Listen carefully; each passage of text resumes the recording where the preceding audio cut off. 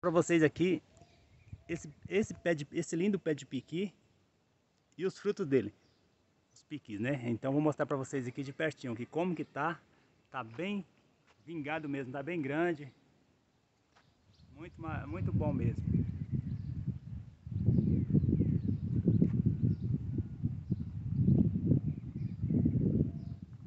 Legal, né, pessoal? Tem bastante, viu?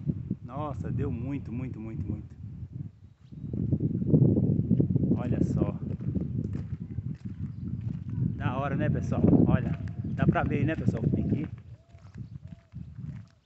Vou mostrar pra vocês aqui esse pequeno vídeo aqui desse pé de piqui. Dá pra ver aí os piquis, né, pessoal? Olha só. Muito bom.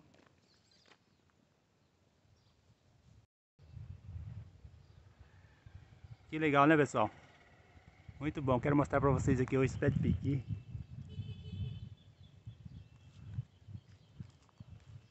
É isso aí.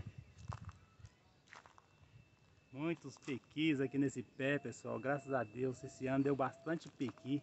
É um fruto muito apreciado aqui na nossa região, né? E que o pessoal, às vezes, faz dele uma fonte de renda. E é isso aí. Aí tem para todos nós, né? Tem para todo mundo. Dessa vez não vai ter disputa não. O pessoal tava disputando ano passado aí para ver quem achava piqui nesses matos aí. Vou fazer vídeo bacana para vocês aí quando tiver piqui aí, pessoal. Eu colhendo piqui aí no mato aí, catando piqui na verdade, né? É isso aí. Esse pé de piqui maravilhoso aqui em Santa Rosa, aqui na entradinha aqui.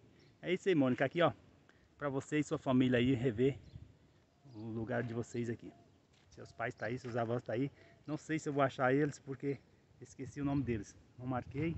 E o tempo tá para chuva, pessoal. Eu vou fazer rápido o vídeo porque senão pode vir chuva aí e não, não dá para fazer esse vídeo.